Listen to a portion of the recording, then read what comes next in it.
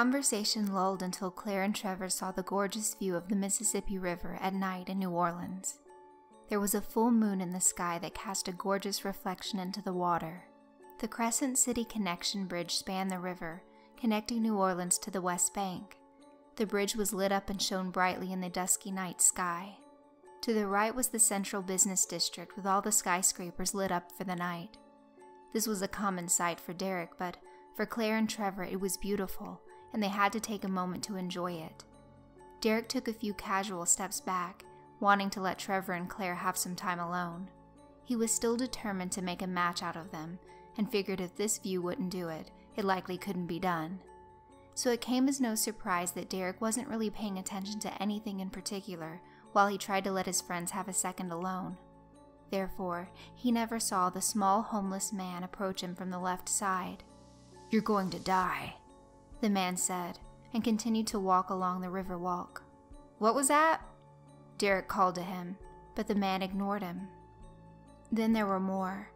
Vagrants crawled out from beneath the piers along the river, where they frequently slept, and began walking towards Derek and his friends. Guys, check this out, he called over to Claire and Trevor, who quickly came out of their trance from admiring the cityscape to realize they were being surrounded. Tobit sits upon his black throne and watches us all. Another one spoke as he walked past. You are marked by the molder of our minds.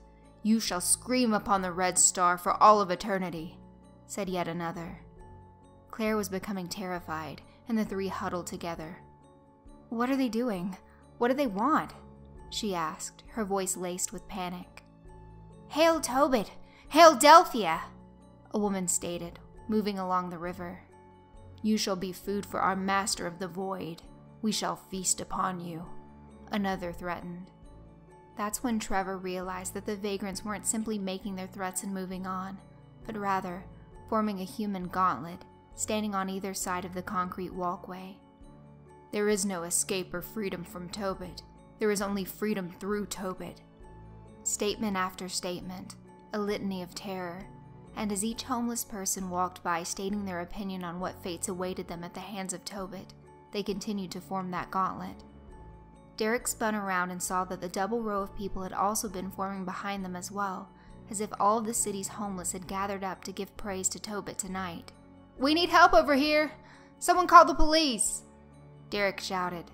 By now, he had to shout over the homeless, as even after taking their position in the lines, they would still continue to chant threat after threat.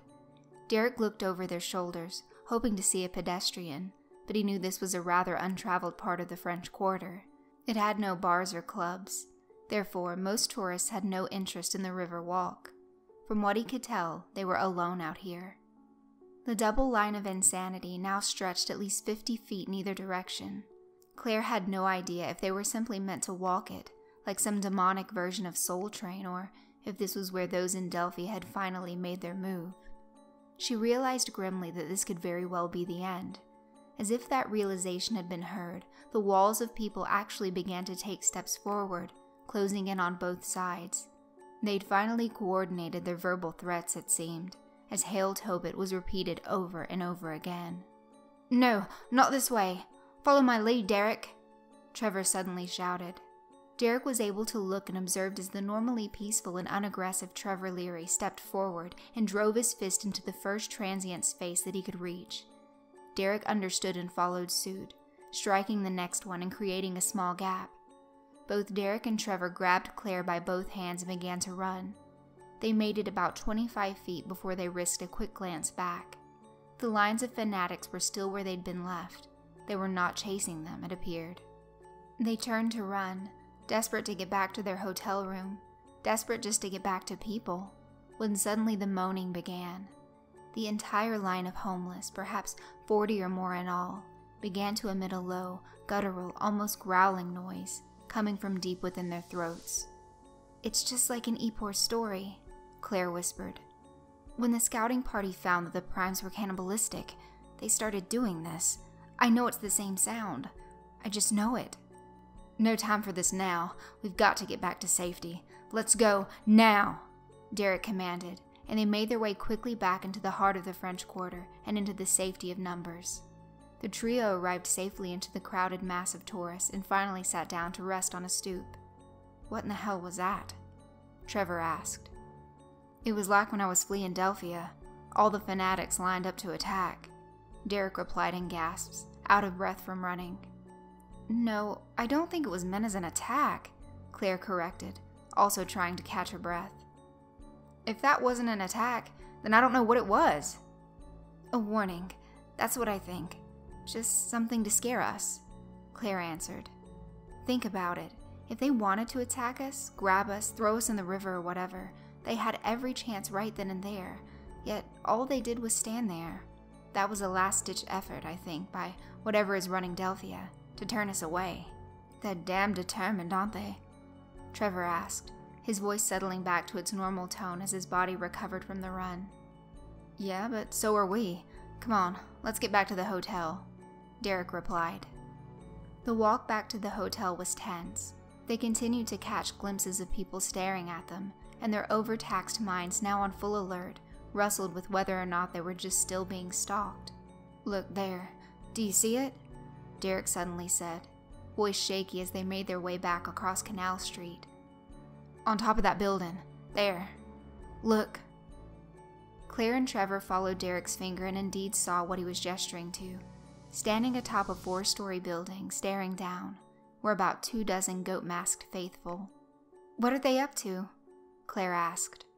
As if in response to her question, all of them raised their fingers to their lips in a hush gesture. Derek looked around at the droves of people walking past them, all around them. Think anyone else can see them? In my experience, no, Trevor answered. One used to appear to my brother almost all of his life, ever since the night our father told him about our family legacy.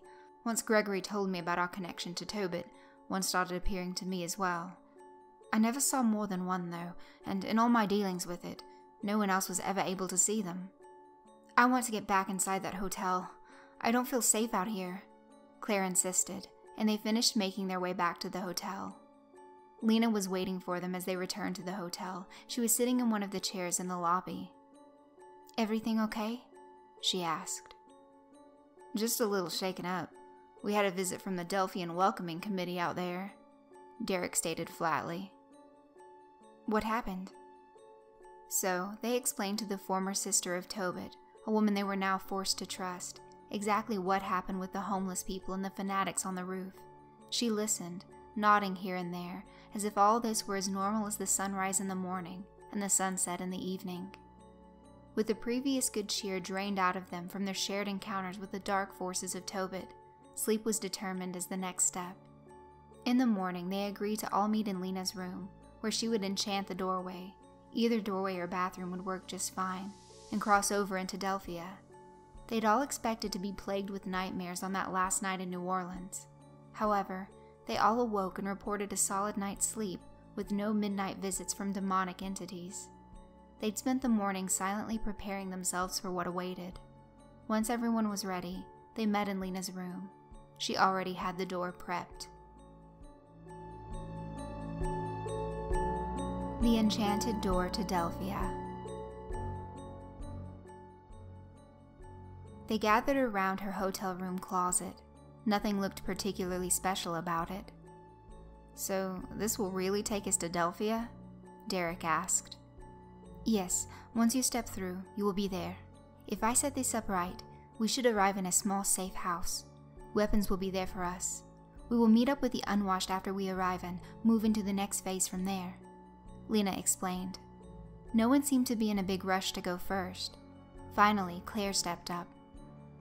Okay, if this works, I'll see you all on the other side. She didn't wait for any noble goodbyes or stoic words of commencement. She simply stepped into the closet. Once she crossed through, small snow flurries began to float from the closet. Claire! Trevor called into the closet. She's in Delphia now. See the snow? Lena answered. Derek and Trevor took one last cautious look at each other and then stepped through themselves followed by Lena, leaving the sane world behind them and stepping into the heart of madness. When we stepped through the closet and into the little safe room, it turned out not to be so safe, Trevor had stated to Gregory, nearing completion of his story. We arrived in this tiny little grey room. We still weren't even sure where we were, honestly. Claire had gone through first, and she was standing there, a look of relief on her face as we all came through. Lena came in last. She told us to hold tight while she grabbed some armaments. Turns out there was only one firearm waiting there hers. She opened a crate and pulled out a pistol, and in the next second, she was ordering us all down on our knees. We all just sort of stood there in shock for a second, not knowing what to do. Then the blue uniformed cops came bursting through the door, pushing us to the floor. We were shackled and brought to the tower. Since then, Trevor lived in the former Grand Magus' chambers. He'd not been allowed to see Claire or Derek. He had no idea what was going on. The last time he saw Lena, when she handed him over to his brother's custody, she'd whispered, Don't trust him, into Trevor's ear. So far, that was the last he'd seen of her. His brother came by daily to visit, and they would talk. Gregory had told Trevor all about how he'd become the champion of Tobit, about how he'd fallen into the good graces of Pinkerton and Tabitha. Over those last two weeks, he was fed well, given whatever he asked for as far as comfort items were concerned, but received no information as to what was going on outside of the chamber walls. The fates of his friends were still a mystery. His own fate was still shrouded in fear and uncertainty. Gregory now walked towards the Grand Magus's chambers, a room he'd thought of as his own for a little while, and then started thinking of as Trevor's room. Now he didn't quite know what to think of it. He'd lived long enough to have seen many efforts and projects of his destroyed. That was quite normal in the business world. He'd had proposals that he'd worked weeks on shot down in minutes. He'd had his ideas ignored. He'd seen failure enough times to know it from a block away. However, today, as he was watching television with Tabitha, he'd see a legacy destroyed. A legacy that was not just his, but one that had spanned several generations of Leary blood, starting with Brandon Leary, working its way down the line, finally landing on his father, and then on Gregory and Trevor themselves. That legacy to keep Delphia out of the public's mind, to keep Tobit locked away in secrecy. He'd always taken great pride in that, and today, in the course of a one hour television program, he'd seen it all destroyed. He was furious. He kept thinking of everything he'd given up in his life to pursue this the family he'd never started, the trips he'd never taken. He thought back to his interview when he was fresh out of college, the day a man named Mr. Blackman set him down for a dream job a job lost because a member of the faithful had arrived and made flesh puppets behind Blackman's head. He thought about all the mental conditioning that he'd had to perfect in order to adjust to seeing the faithful around every corner, learning to live with them as though they were friends of his. Worst of all, he reflected on the night not very long ago. That night, he made the painful choice to open Trevor up to the terrors of Tobit. When he allowed himself to ponder on the fact that just a short time later, the whole world would be talking about Tobit regardless. It was enough to drive him into a blind rage. However, he could not allow his anger to take him there. It was too dangerous. Whatever accord he developed with Tabitha Shaw and Pinkerton, Gregory was willing to bet was delicate. After all, they'd watched in glee as he gunned down Lance Madison, a man who'd worked his way up to a high position there, a man who'd sold himself to Tobit. They'd demonstrated no real loyalty to him in the end. So, what could Gregory hope to achieve here? Sure, they called him the champion, but he knew pandering and manipulation when he saw it. He was content to allow them to believe he was strung along for now, if that's what it took to keep himself and Trevor safe. However, Gregory knew things inside of him had changed since seeing Newsroom, since listening to the cold hard facts, that the whole damned world was now aware, at least on some level, of Delphia and Hyraaq Tobit. Decisions would have to be made now, dangerous ones. He arrived at the Grand Magus's chambers, originally intending to enter and try to talk to Trevor, get his younger brother on board around here. He agreed with Tabitha that he'd have a hard time selling Trevor's residence here should he still be brooding when the man known as Pinkerton returned. Pinkerton had been absent from Delphia since the day Gregory had arrived, and it was now apparent exactly what he'd been up to. Gregory extended his arm to the door handle, then stopped again. Tough decisions, that's what he thought. Dangerous choices, too. That's what had been on his mind as he walked towards his chambers. Pinkerton had gone out and destroyed his family's legacy. That was also Gregory's original conclusion on the idea. But had he? Gregory realized that there was still one last option on the table here, one he'd initially dismissed. He wanted to work with Delphia, that much was true. From the belly of the beast, he was confident that he could keep everything under control. However, there was more to it than just that. He also had other interests in Delphia. For one, the oil. All that oil. Gregory was well aware that Antarctica housed tons of oil and natural gases just waiting to be refined and sold. He also knew that, due to a treaty signed a long time ago, that there could be no drilling on Antarctica for many more decades to come. The idea of using Delphia, a place masked from the world by magic, to dig into that oil was something he'd considered for a while. He could bring the men and himself to set up the equipment, and then just train the sea of slaves that lived against their will right here in the city to work the machinery. He could sell it and never worry over competition. He'd actually crunched the numbers on this project and written it all up in his little notebook that he kept in his jacket pocket.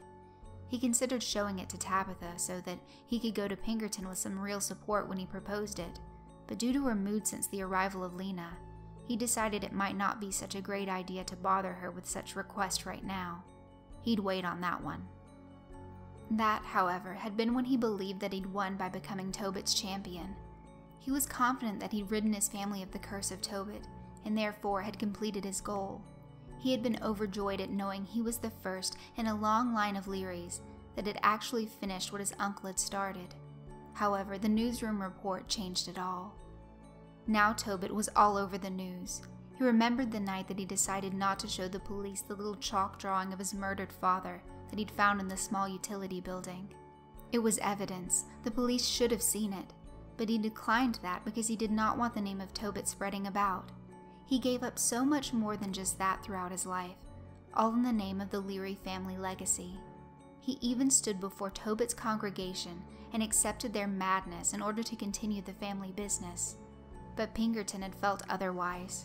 He'd somehow revealed that red star to the world, and now, at least according to Jack Elder of Newsroom, the whole damned world was talking about Tobit. This now opened up options to Gregory, or rather, forced them on him. He, without knowing it, began using the theory of two for his own gains. On one hand, he could remain here in Delphia and work his best to contain things. Perhaps he could convince Pinkerton to remove the red star from the sky, but that choice opened up two more options that he didn't really want to explore. He could imagine trying to convince that slimy little man to do anything against his own devices to be a task born in hell. He had no desire to take that ride. Of course, speaking out against the will of Pinkerton, even as a simple matter of opinion, could result in a fate worse than death. He couldn't forget how easily they'd turned on Madison, a man who'd been loyal for longer than Gregory cared to imagine. That left Gregory with the other option, one he didn't like any more than the other, but one that perhaps could be accomplished yet. He wanted to sample it at the very least, to see what lurked there. It was a gamble, but, of course, so was just about everything these days. So, without allowing himself much time to dwell on it, he walked past the Grand Magus's chamber doors, allowing Trevor to remain undisturbed, and made his way out into the city of Delphia. Nephew and uncle divided. It didn't take long for Gregory Leary to be marked. They'd been watching him intently, ever since his little stun at the cathedral when he turned on Clive and Emily, giving them over to Pinkerton. It had been a bizarre night to say the least. First, they'd watched him shoot Madison, and their first thoughts had been that Gregory was in fact their savior, a man finally striking a real blow to the forces that be. He'd then returned, claiming ownership of rank in Delphia, and giving two unwashed away without a second thought. Where the man stood and where his loyalties lie was still a mystery, so they'd been watching him over the last two weeks. Over that time, they'd found that he rarely toured Delphia alone. He was almost always in the company of Tabitha Shaw. Today, though, he was alone, and from the look on his face, not in good spirits. Perhaps something had happened that had changed his perspective on things. Perhaps he was just having a bad day and needed time to himself. Either way, the outcome was the same. The time for action was here. Things needed to be done now, and Gregory Leary had proven to be a bit of a monkey wrench in the grand machine of things. Now, though, he was alone and vulnerable. What value he may still have sits in mystery, but the time for wondering was behind them. Things were moving too fast now to stop and think about anything except for the immediate goal. They watched as Gregory moved from the populated hub of Delphia, the shops and the restaurants, the street vendors and the masses of people moving about. He turned towards the warehouses, a place where foot traffic was seldom. The watchers began to wonder if this was a ploy. He seemed to be moving in that direction intentionally. However, as was stated before, the time for concern about the unknown was moving on, and the time for action was here. It was time to take action. Once he was in an isolated part of the city, they made their move. Gregory left with the intention of being seen. He was hoping for contact. However, he was not sure how it would come to him.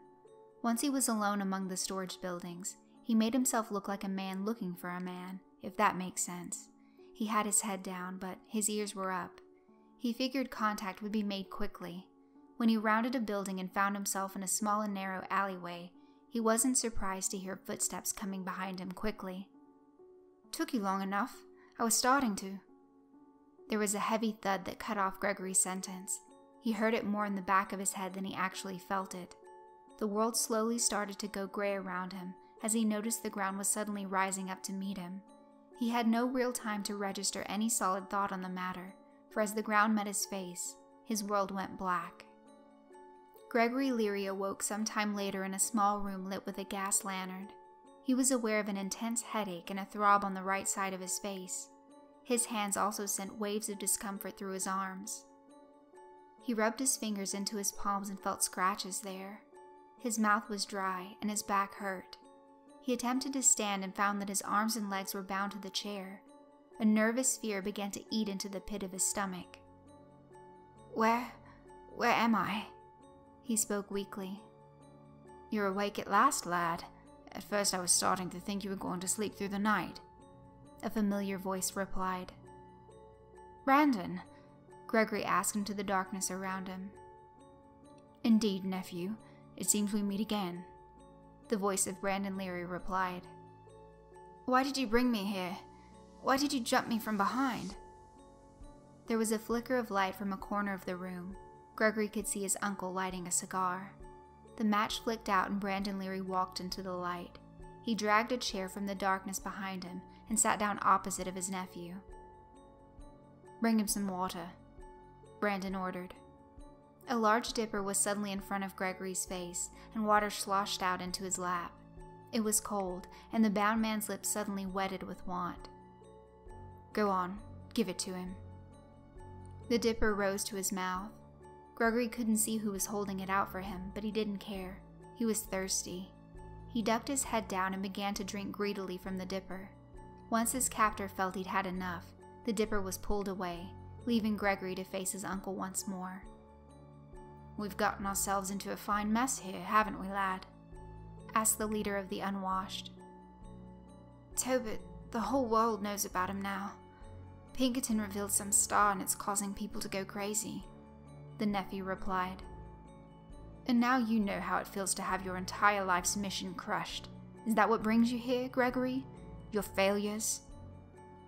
I wanted to talk to you, Uncle, to make things right. Ha! Brandon replied, saying the word more than actually laughing. You want to make things right now? Now that you've gone and tossed this entire operation into the shitter, now you come out here and want to make things right. I trusted you, Gregory. I really did. I didn't like the nephew that I met, but I believed in our family. You have let me down, lad. Let us all down. I'm sorry, Uncle. No, you're not, Gregory. You're sorry that you lost control of things. That's what you're sorry for. I gave you every chance to come in with us, to help in really bringing Delphia down. I gave you the identity of Emily and Clive in hopes that you'd do the right thing. I shouldn't have, and this is my cross to bear every second they are sitting in the dungeon. I was a fool for that. And do you know why I wanted to trust you so badly, Gregory? Do you really want to know why? Gregory nodded. Because, lad, I'm tired. I've been here almost two centuries, fighting the same fight all the time, praying for the day that Delphia falls so that I can finally rest. When I saw you show up here in Delphia, I just wanted so badly to believe that you were here to relieve me from this duty. I wanted to believe that whatever gods govern all of this shit, that they'd finally decided to give an old man a day off. My body may not age here, but, lad, my mind surely has. When I first arrived here, stowing away on Madison's boat, sneaking into the city, I intended to arrest the man. Yeah, that was the plan. In the name of Scotland Yard and all that, I was going to arrest Madison and bring him back to London to stand trial for his crimes. Imagine the shock when I realized that I was trapped here with him. No escape. To make matters worse, I find out that this city has its own damned army, those coppers out there, plus all of the faithful. Can you picture a fat man going into the cathedral, removing my badge, and just ordering Madison to come with me? I wouldn't have been dead before the arrest order could leave my lips, so I did the only logical thing I could think. If they had an army, I would need one too. It took me over a century to really get the unwashed together, to get the right people in the right places. Eventually, I recruited enough high ranking folks in Madison's court, enough for us to learn the city's one great weakness. However, for every step we took, Pinkerton was there to push us two steps back. If we took a foot, they pushed us back a yard. It was always an uphill battle, Gregory, a daily battle, it would seem. So imagine my joy when one of my very own shows up here. I thought it was a sign that the tide was turning. They warned me, hell, everyone did, not to trust you because of who you were and what family line you came from. I should have listened, but I gave in to my own mental fatigue and I trusted a snake. You. And now two of my most trusted people are in the dungeon, undergoing God knows what kind of torture, because of my own nephew. They've not been tortured, Uncle. This I know. Tabitha's been too caught up with the death of one of her agents. She hasn't even been down there. They're waiting for Pinkerton to return to make any big moves. I won't bother to beat the truth out of you, lad. It's not my style anyway. No, it's your new friends that are fond of the heavy hand. We're making our move now. No more waiting. You at least were useful enough to show me that the time for patience has passed. When a man cannot trust his own flesh and blood, there's no more time left at all. You will stay here. You will be kept company. Know that the man in this room with you is armed with a loaded pistol. Should you make any wrong moves, he is under instruction to blow your head off. Once we are done, once the mission is carried out, the man will untie you and leave with the rest of us. You will wait a few moments for him to clear the room, and then you are free to make your way to the main gate as well. I don't have the brains nor the heart to kill you, although every instinct of mine says to do just that. Uncle, please, if I'm gone for too long, Tabitha will come looking for me, and if she finds me like this, people will die. Likely your friends first. Brandon Leary stood up and began to walk towards the exit. Lad, we're moving into action now. Your girlfriend up there in the tower isn't going to have time to look for you. Remember, don't try anything funny. I don't want you to be killed, but I doubt I'll lose much sleep if you are. Too many regrets robbing me of my rest as it is. You'd be so far in the back of the line that I'd die of old age before you made it halfway. With that, Brandon Leary left his nephew tied up and under guard. Gregory could hear the man breathing close behind him, watching him from the darkness, ready to kill him if necessary. The logic of grief. Back in the tower, Tabitha was impatiently flipping through television channels. She wasn't really watching the programs any longer. No, her mind was elsewhere and was simply hoping that her shows could distract her from what she knew she really wanted to do. Lacey continued to bob in and out of her mind, her face smiling and so full of joy, so dedicated to all the tasks before her. She remembered the night with the dead baby, the night she'd shown up and taken Lacey away from her world of rules and bloodshed, and brought her into one with one simple goal serve Tobit in all ways. She'd always been Tabitha's favorite, there'd never been a doubt. And now she was dead, supposedly taken down by a very lucky police officer. As she told Gregory, she didn't believe that, not even for a second. She wanted to believe that Lena had lied to her to spare her the punishment for the action she'd no doubt have taken. She wanted to move on as well. She'd lost agents before. Serving Tobit as a sister was never going to be a job that came without very high risks. Still, she wasn't letting it go. She wasn't moving on. Tabitha was a young woman who knew herself better than most others in this world. She knew she couldn't and wouldn't let it be, not until she was satisfied. She also was starting to develop anger towards Lena for lying to her. She'd done a fairly good job of keeping herself at bay by simply telling herself that Lena had done these things for the good of her leader But the more she thought about it, the more she realized that lying was still lying, and Tabitha was not a woman that appreciated lies from her subordinates. Lying is like any other bad habit. You do it once and get away with it, and suddenly feel you can do it all the time. Wait for Pinkerton, girlie, Tabitha said out loud. It was good advice. She already knew the little girl, Soka, was a big supporter of the unwashed. She had yet to make a move against her, though, wanting everything to come together as a beautiful surprise for Mr. Pinky when he came back to Delphia. She'd hand over Derek and Claire, and she'd tell Pinky all about how she'd learned the identity of the little psychic girl among the rebels, and how the whole damned unwashed was about to crumble. It was a good plan, a plan that would mean rewards for her and a much brighter future ahead. This was a good plan. Sounds like a pussy plan to me, girlie, a voice spoke inside of Tabitha's head. It's not. It's the right course of action. We wait, she replied to the voice. Wait and see, eh? Sounds like you're losing your edge, Tabby. That's what I think. I would never have imagined the little girl that survived this shack could grow into something so pathetic, the voice answered.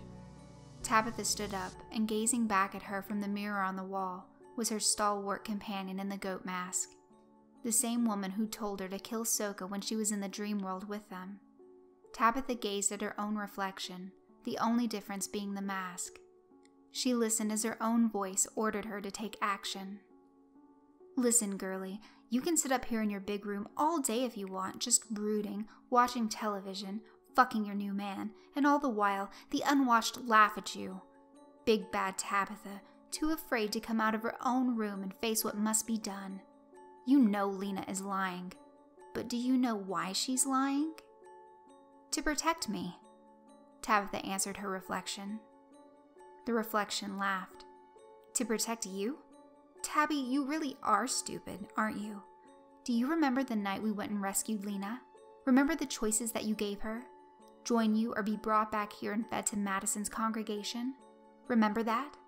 Yeah, you should because I bet you all the money in the world that Lena sure as hell remembers it. You really think she'd lie for you? Girlie, I worry about you sometimes. Then she lied to protect herself to avoid being punished for losing a sister. Tabitha argued back to the mirror. That makes even less sense, Tabby, much less. The truth or a lie would have added up the same for Lena in most cases.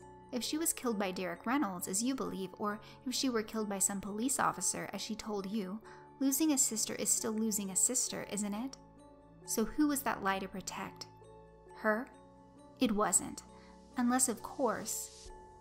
Unless, of course, what? Lena never wanted to come here, did she, girlie? Not at first, no, but in time she. Think about it. In time, what? She had decades to think about you, Tabitha, to think about her place in Delphia, did she not? You loved Lacey because she was so eager to be part of it all, but you always wondered about Lena, didn't you? She never gave me reason to question her. Not until recently, anyway, right? Right. So test her, Tabby. Test her now and be done with it, rather than spending the next decade wondering what really went wrong on that mission. Tabitha nodded to her reflection slowly, knowing now what needed to be done.